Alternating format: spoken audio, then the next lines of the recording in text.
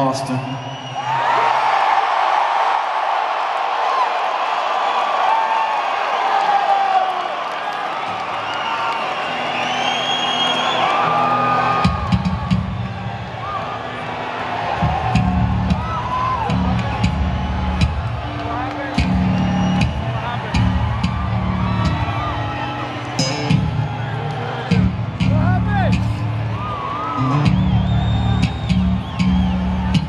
50 years old and he broke his drum head still.